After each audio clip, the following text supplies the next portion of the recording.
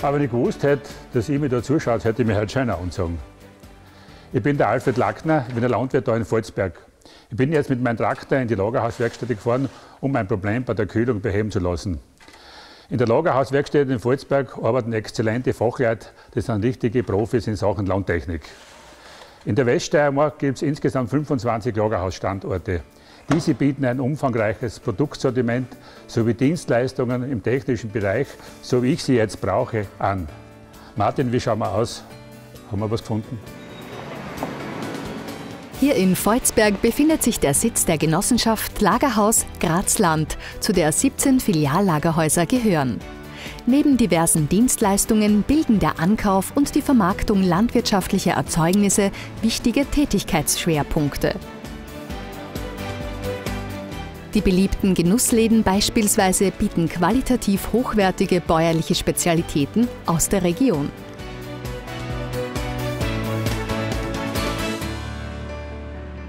In Deutschlandsberg wird im Oktober 2013 eine neue Werkstätte eröffnet. Die geplante Investitionssumme für dieses zukunftsweisende Großprojekt beträgt 3,9 Millionen Euro.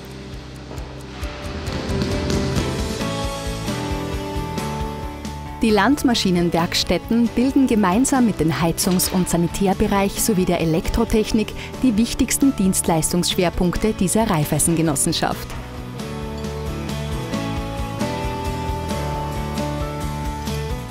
In Kleinstetten, dem Sitz der Genossenschaft Lagerhaus Kleinstetten-Ehrenhausen-Wies, zu der acht Filiallagerhäuser gehören, konnte 2011 ein besonders kundenfreundlicher Gartenmarkt eröffnet werden. Auch hier gilt die Leitlinie an die Zukunft denken, neue Ansätze und innovative Lösungen finden. Das Lagerhaus Bauservice bietet eine umfassende Bauberatung. Ökologisches Bauen und Nachhaltigkeit stehen schon bei der Planung im Zentrum. Und im Clever Musterhaus kann jeder erfahren, wie wohl er sich in seinem künftigen Traumhaus fühlen wird, umgeben von Sonnenkraft, Solarenergie.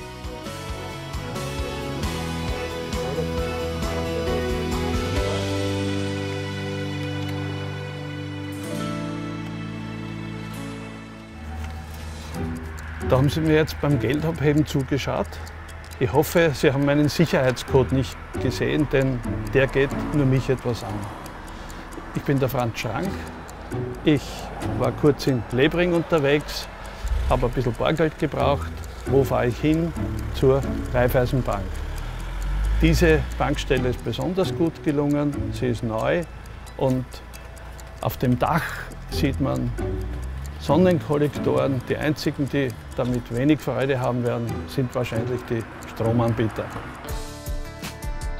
Die im September 2012 eröffnete neue Bankstelle Wildon-Lebring ist ein Statement für umweltgerechtes Bauen nach den strengen Klimaaktivrichtlinien.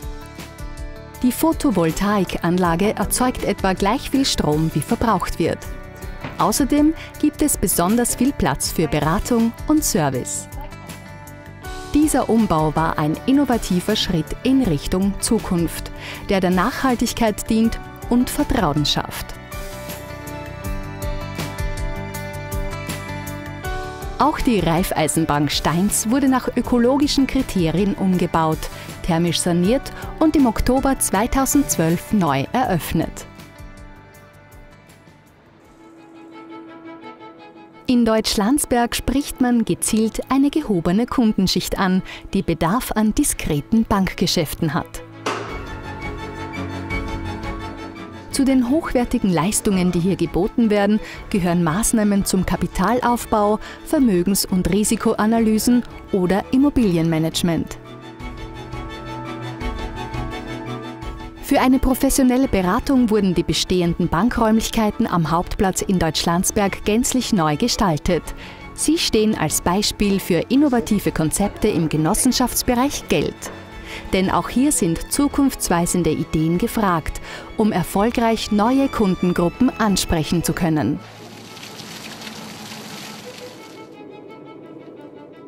Ich hätte jetzt wahrscheinlich diesen Käse auch gerne probieren.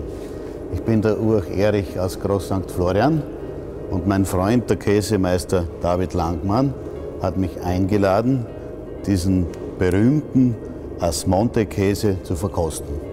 Herrlich, dieser würzige Geschmack. Nicht umsonst ist es den Volzbergern gelungen, zahlreiche Preise im In- und Ausland einzufahren. In der Berglandmilch-Spezialitätenkäserei Volzberg werden täglich etwa 400 Tonnen Milch verarbeitet, vor allem für die Marke Scherdinger. 140 Mitarbeiter produzieren hier insgesamt 13.000 Tonnen Käse pro Jahr. Das sind etwa 36 Tonnen täglich. Quantität bei höchster Qualität. Nach diesem Prinzip entstehen in Volzberg etwa 50 verschiedene ausgezeichnete Molkereiprodukte.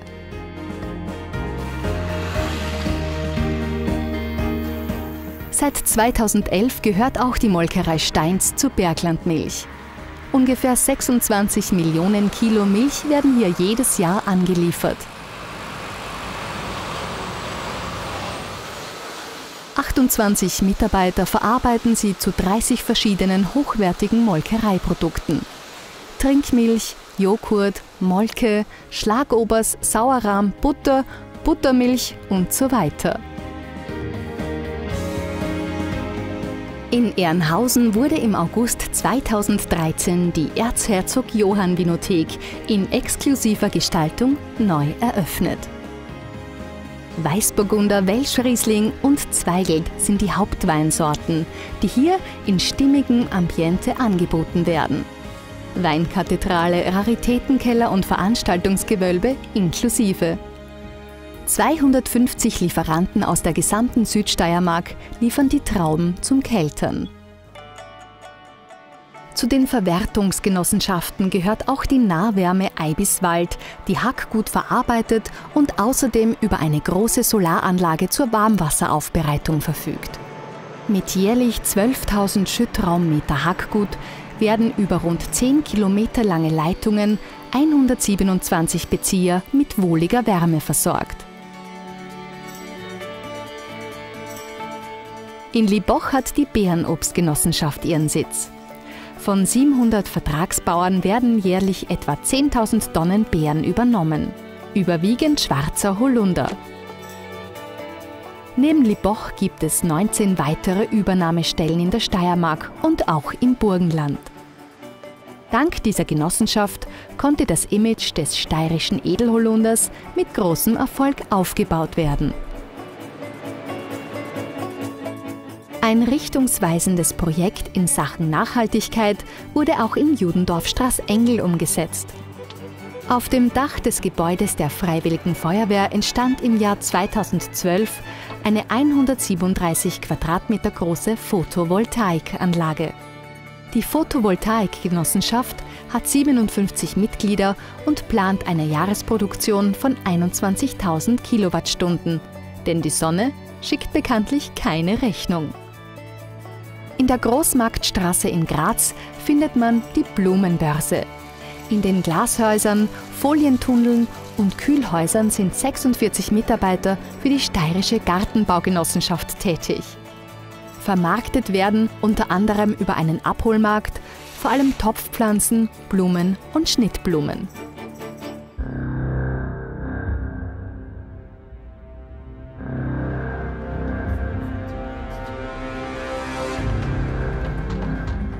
Eine Besonderheit unter den Genossenschaften ist die Hagelabwehrgenossenschaft mit ihrer neuen Einsatzzentrale Graz-Thalerhof. Sie verfügt über zwei eigene Flugzeuge und steht im Bedarfsfall für Hagelabwehreinsätze mit modernsten Mitteln zur Verfügung. Eine wichtige Initiative zum Schutz landwirtschaftlicher Produkte.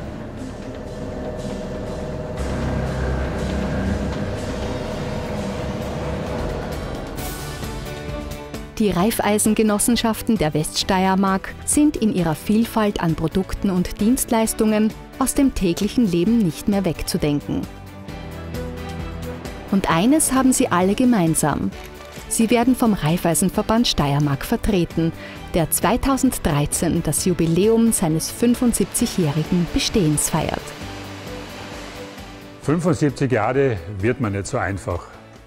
Da muss man unbedingt darauf bedacht sein, weiter zu denken, Vorsorge zu treffen, nachhaltig zu planen und mit Zuversicht und Verstand an der Zukunft zu bauen. Weiterdenken. Diesem Motto bleibt der Raiffeisenverband Steiermark verpflichtet. Im Sinne einer lebenswerten Zukunft, in der Ökonomie, Ökologie und soziale Verantwortung Hand in Hand gehen.